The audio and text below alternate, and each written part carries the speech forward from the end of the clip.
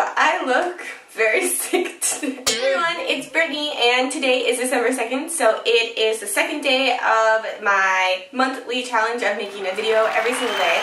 And today I am sick. That is why we are filming in my bathroom because there's no natural light left because it's dark now. I'm not giving up. I'm totally gonna make a video today, but I'm having the worst hair day ever. I slept in a sock bun and I can't do makeup when I'm sick. I, am like getting heat flashes and sweating and this is really funny that this only happened the second day into my make a video every day. Hopefully I'll be better. I already pretty much feel better. I just still don't look The second prize of the giveaways, the first prize being December 1st, and during this monthly challenge, I'm not having a giveaway every single day, but I'm having them Saturdays and Sundays and maybe one like secret day during the week. And I'll be posting my normal kind of videos like tutorials and hauls and I will also be doing vlogs, which I haven't done in like two years. So that should be kind of fun, seeing how I can get back into the loop of that kind of deal. So pretty much how I'm going to do it is I do a giveaway every Saturday and Sunday, and like I said, one random day during the week, and then the winners will be picked the upcoming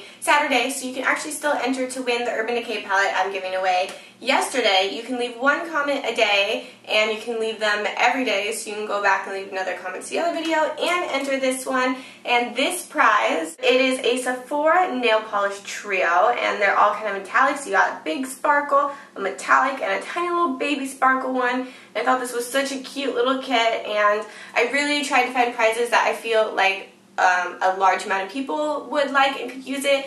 Like if I got a foundation, obviously that would narrow down to just the color I picked or if I got a lipstick, like if I got a nude, it's not going to look right on some skin tones and others. I actually did get some lipsticks. I'm not going to go into that. The prizes are over there if you can kind of see them. I don't want to like show them all because I kind of want to be a surprise even though I posted some of them on Instagram because I got really excited.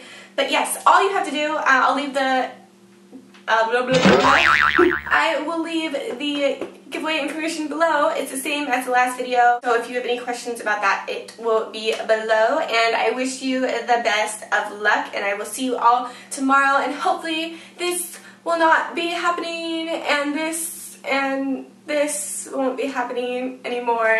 And I will see all of you tomorrow. I already said that. I have to go.